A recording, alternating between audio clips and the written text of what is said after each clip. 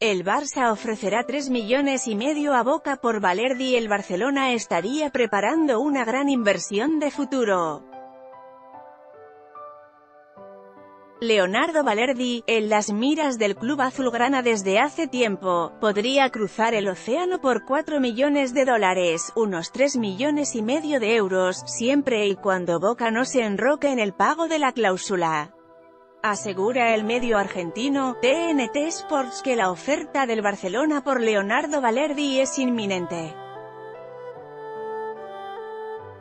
que ofrecerá 4 millones de dólares, lo que vienen a ser y medio en euros, por el joven futbolista argentino, de 19 años. Valerdi fue uno de los mejores de la Argentina de Scaloni en el torneo de la Alcudia, y su desempeño en el campeonato habría reactivado el interés del Barcelona.